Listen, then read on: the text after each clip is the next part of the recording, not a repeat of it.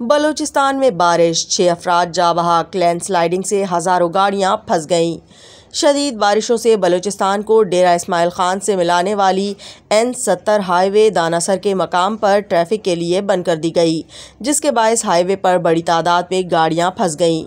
PDMA Hakam ने पिशावर, सवात, इस्लामाबाद और पिंडी से आने वाली ट्रांसपोर्ट डीआई खान पर रोकने की हिदायत की है। दूसरी जानब महकमा मौसमियात ने आज इस्लामाबाद, मरी गिलियात गुजरावाला, नारोवाल, सियालकोट, बालाकोट, मानसहरा, एबटाबाद, सवात खुजदार आवरान, लसबेला और आज़ाद कश्मीर में बारिश की पेशन गोई की है।